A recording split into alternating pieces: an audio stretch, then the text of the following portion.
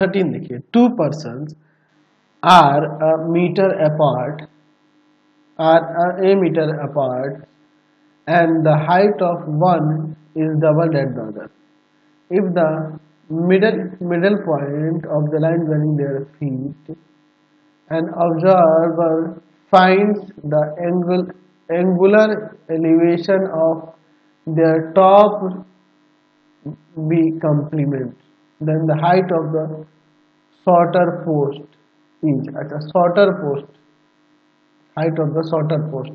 चलिए एक काम करते हैं यहाँ पर।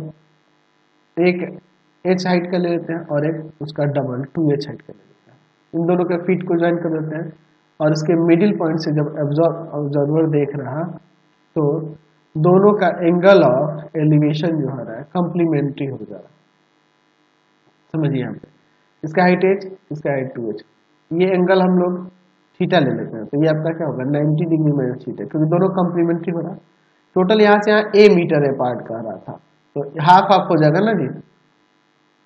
A by two A by two हो जाएगा। हमें क्या निकालना है? हमें height of the shorter post निकालना है। शॉर्टर पोस्ट जो होगा, वो क्या होगा? ठीक है?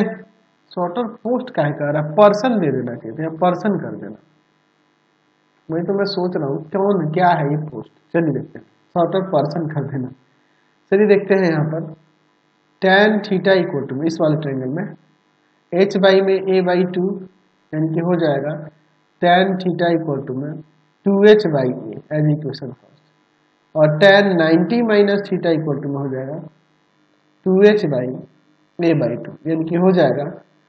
कॉट थीटा इक्वल टू में four H by as equation multiplying multiplying equation first and second तो हो जाएगा टेन थीटा इंटू में कॉट थीटा इक्वल टू में two H by A into में फोर एच बाई ए तो ये तो वन हो जाएगा इक्वल टू में eight H square by A square यानी कि एच स्क्वायर इक्वल टू में A square by A square को रूट में भेजेंगे तो रूट आ जाएगा ए और बाई में two root two height of shorter person हो गया आपका A by two root two question number forty